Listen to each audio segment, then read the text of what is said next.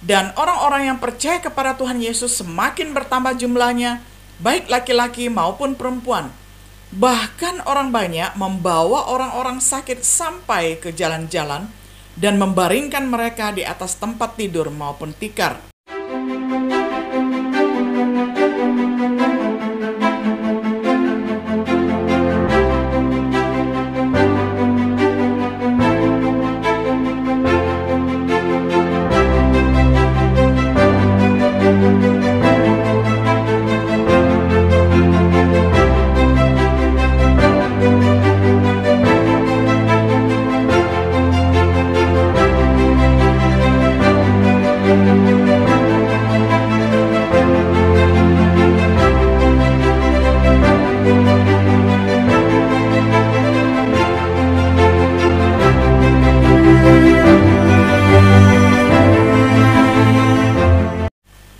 Shalom, sahabat Biblika yang dikasih oleh Tuhan. Sungguh senang kita dapat berjumpa kembali di dalam acara refleksi sahabat Biblika. Pada hari ini kita tiba pada episode yang ke-36 di dalam serial pembahasan kitab Markus dengan tema penyembuhan di Genesaret. Kita akan membaca firman Tuhan bersama-sama dari Injil Markus pasal 6 ayat 53 sampai 56. Saya akan bacakan untuk kita semuanya di dalam terjemahan sederhana Indonesia. Sesudah Yesus dan murid-muridnya tiba di kampung Genesaret, waktu mereka turun dan mengikat perahu, orang-orang di situ langsung tahu bahwa dia adalah Yesus. Lalu orang-orang di situ berlari ke setiap daerah itu untuk menyampaikan bahwa Yesus sudah kembali. Lalu mereka membawa orang-orang sakit di atas kasur di tempat di mana saja mereka mendengar Yesus berada. Jadi, kalau Yesus ada di satu kota, kampung, atau rumah di luar kampung, maka mereka membawa orang-orang sakit ke tempat umum yang terdekat. Mereka meminta kepadanya supaya dia mengizinkan orang-orang sakit itu menyentuh ujung jubahnya saja, dan semua orang yang menyentuhnya menjadi sembuh. Sampai demikian jauh pembacaan firman Tuhan dari Markus 6 ayat 3 ayat 53 sampai 56. Sahabat Biblika yang dikasih oleh Tuhan, setelah Yesus berjalan di atas air, mukjizat yang lain segera menyusul. Tidak lama setelah menambatkan kapal di tepi Genesaret. Ketika itu Yesus menyembuhkan semua orang dibawa kepadanya. Penyembuhan di Genesaret memberikan kesempatan buat pengamatan tentang keberhasilan pelayanan penyembuhan Yesus, tujuan dari pelayanan penyembuhan Yesus. Pengamatan serupa dapat dibuat tentang pelayanan penyembuhan Petrus dan Paulus yang dapat mengkritik apa yang disebut pelayanan kesembuhan hari ini. Apakah mereka benar-benar melayani seperti yang Tuhan kehendaki? Jadi, Mari kita mulai dengan mencatat yang pertama, pengaturan penyembuhan di Genesaret, di mana Yesus dan murid-muridnya melabuhkan perahu mereka, dataran padat dan subur di selatan Kapernaum, sekitar tiga mil di sepanjang Laut Galilea, yang juga disebut Danau Genesaret. Keindahan alam dan kesuburannya sangat luar biasa ada kenari, palem, buah ara, zaitun, dan buah anggur. Di kesempatan lain, penyembuhan yang dilakukan oleh Petrus dan orang-orang yang percaya kepada Tuhan Yesus semakin bertambah jumlahnya, baik laki-laki maupun perempuan.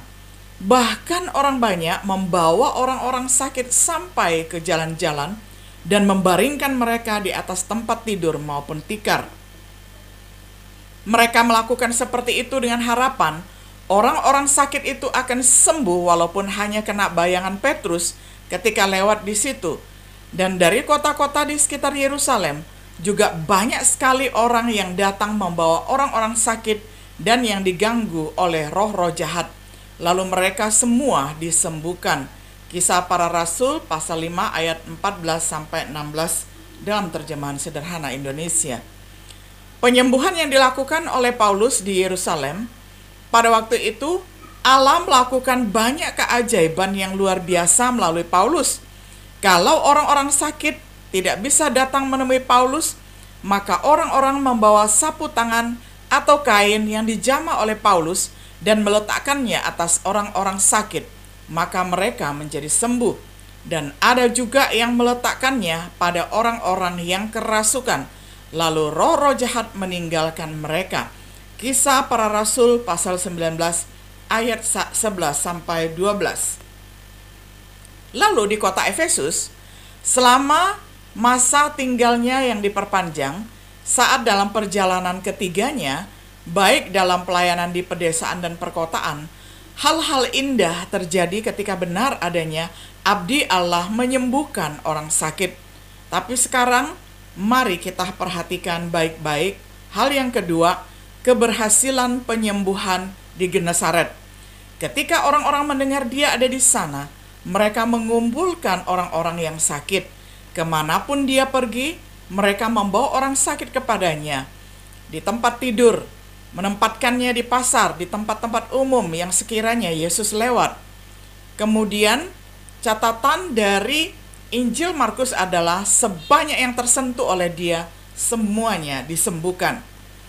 Lalu di kesempatan lain, Petrus di Yerusalem menurut kisah para rasul 5 ayat 14 sampai 16 yang sakit dibaringkan di jalan di atas tempat tidur dan juga ada yang di atas uh, sofa. Orang-orang dari kota-kota sekitarnya dibawa membawa orang sakit dan orang-orang yang kerasukan roh jahat untuk disembuhkan oleh Petrus. Perhatikan baik-baik. Mereka dikatakan semuanya sembuh. Baik Paulus di Efesus maupun Petrus di Yerusalem. Tuhan membuat mukjizat yang tidak biasa dengan tangan Paulus. Bahkan sapu tangan yang dibawa dari tubuhnya dapat menyembuhkan orang sakit. Perhatikan baik-baik di sini, tersirat adalah bahwa semua yang menerima pelayanan seperti itu disembuhkan. Orang banyak yang berkumpul di sekitar Yesus, Petrus, dan Paulus bisa mengerti Keberhasilan ketiga orang ini luar biasa. Sekarang mari kita mengamati tentang pentingnya penyembuhan. Di, Generas, di, di Genesaret, tujuan dari penyembuhan adalah untuk mengkonfirmasi klaim Yesus bahwa dia adalah anak Allah.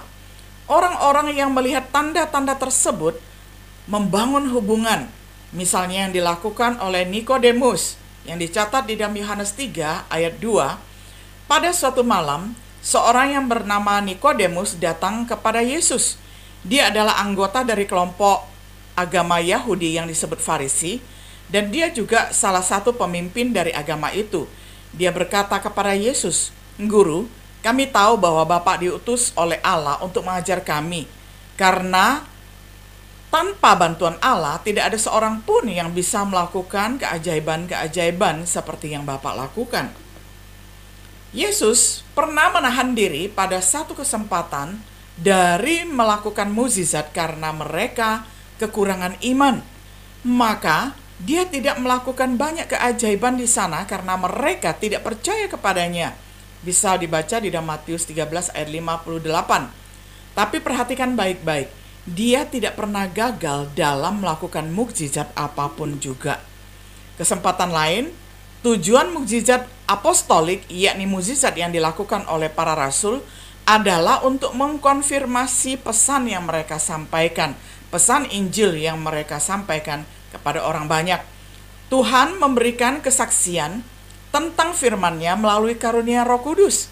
Karena kalau perintah-perintah Allah yang disampaikan kepada Musa melalui malaikat-malaikat harus ditaati Tentu kita harus lebih taat kepada ajaran yang langsung disampaikan oleh anak Allah sendiri kepada kita.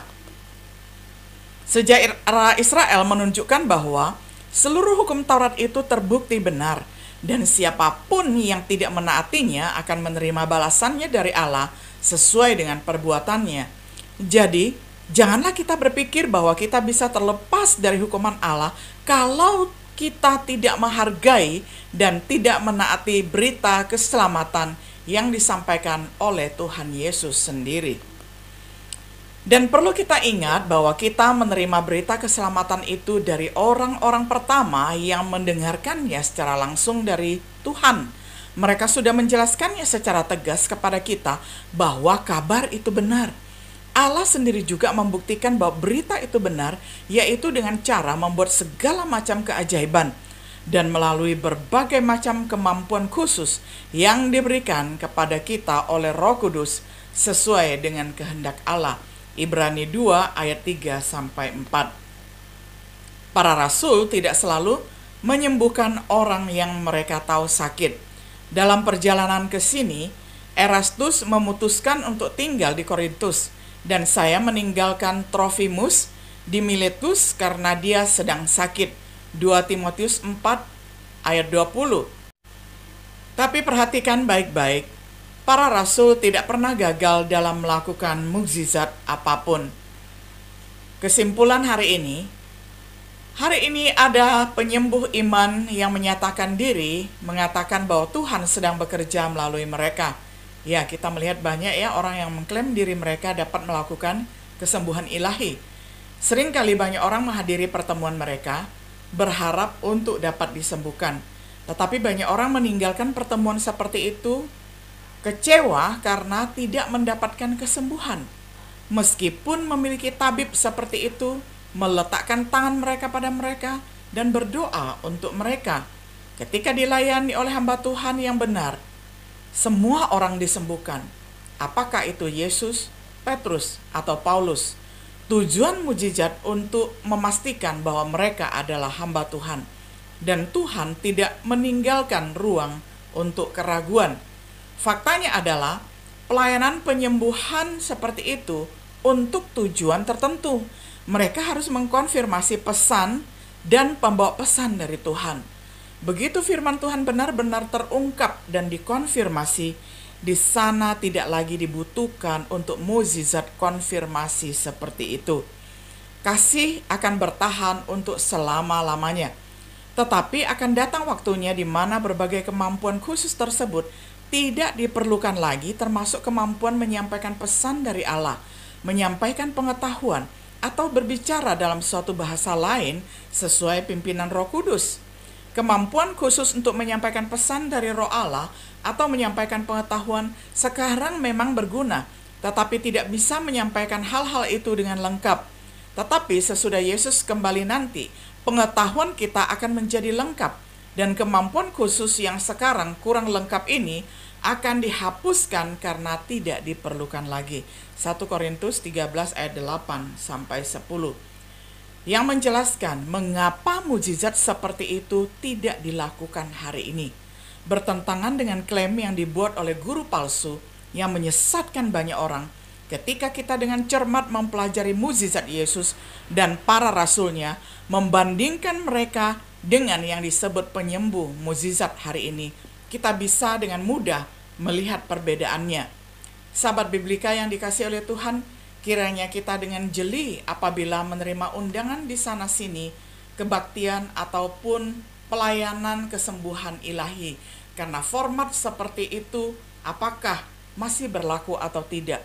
Firman Tuhan yang kita pelajari pada hari ini sudah menjelaskan kepada kita bahwa ketika Tuhan Yesus Rasul Paulus, Petrus, dan rasul lainnya melakukan mukjizat itu adalah untuk mengkonfirmasi bahwa mereka adalah utusan Allah dan berita yang mereka sampaikan itu adalah benar.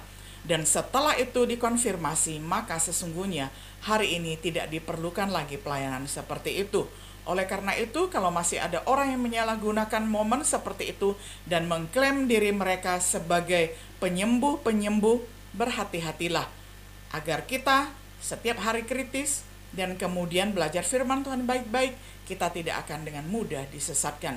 Kiranya Tuhan senantiasa memberikan kekuatan berkat kepada kita. Shalom.